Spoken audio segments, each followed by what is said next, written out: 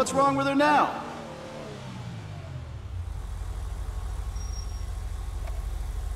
Good to go.